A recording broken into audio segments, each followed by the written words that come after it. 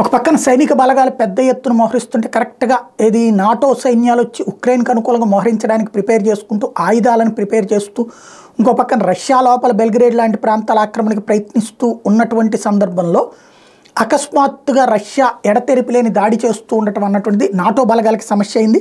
అక్కడ నాటో బలగాలు ఉక్రెయిన్కి శిక్షణ ఇస్తున్నాయి. ఏ నాటో బలగాల మీదన దాడి జరిగినా అది కాస్త పెను యుద్ధానికి దారి తీయాలి. కానీ యుద్ధానికి మిగతా వాళ్ళు సహకరించట్లేదు. కాబట్టి ఏం చేయాలో అర్థం కాని పరిస్థితి.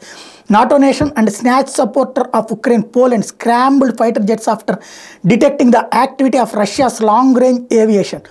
Polish armed forces operational a post on X confirmed that scrambling of the war planes and putting its air defence systems on high alert for the second time in last twenty four hours Russian forces have been launching a two missile attack and several Ukraine cities over the last two days రెండు రోజుల నుంచి Ukraine మీద ఎర్రతేరి పిలేదో విరుచుకుపడుతున్నది.